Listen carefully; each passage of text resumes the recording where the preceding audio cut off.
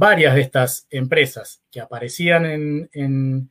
la determinación de la agenda, que aparecen entre las que más se han enriquecido eh, en el medio de la pandemia, muchas de esas empresas son las que hoy por hoy están intentando imponer eh, nuevas tecnologías de vacunas. Eh, y ahí me parece interesante abrir un poco el debate porque parte de lo que ocurre es que muchos de los paquetes de, estas promesas prometéicas que, nos llegan, no llegan siempre eh, decididos y masticados por arriba,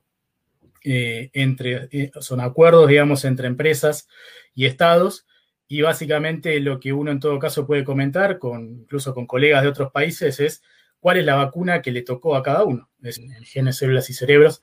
la cuestión de los experimentos masivos que se han eh, realizado eh, en distintas partes del globo. Nuestro país fue un ejemplo con lo que fue el paquete de soja transgénica y la aplicación del glifosato.